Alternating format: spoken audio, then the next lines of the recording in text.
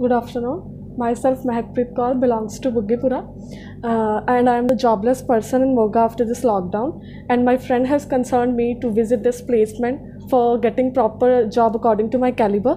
And I have visit there. They attend me properly with their with their uh, and explain all the rules and regulation with such a nice uh, behavior.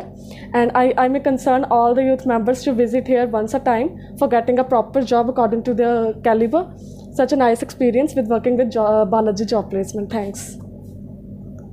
And uh, they may visit uh, uh, they may visit uh, uh, through social media uh, instagram accounts facebook youtube and they may search about the experience. All members have uh, given their videos in youtube and you may once go and check about their experience and then visit there visit here